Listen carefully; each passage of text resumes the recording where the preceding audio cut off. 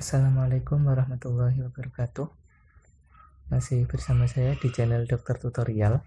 Pada kesempatan kali ini saya akan membagikan sebuah video tutorial Bagaimana cara blog website menggunakan Mikrotik.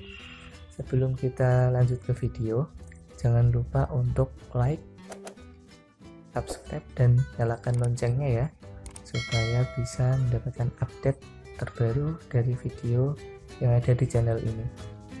Oke, kita langsung saja ke videonya.